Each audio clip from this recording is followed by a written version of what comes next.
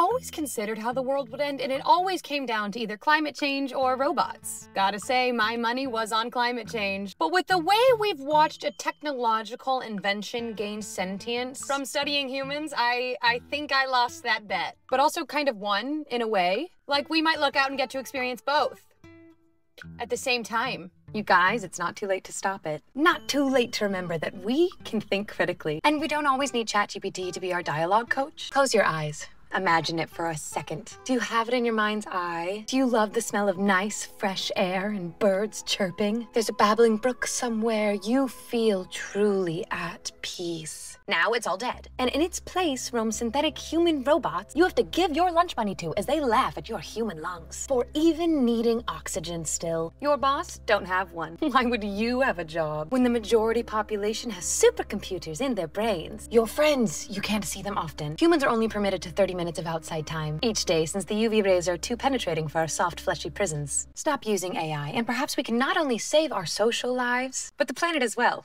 Wouldn't that be really fantastic, guys? Right, guys? Right?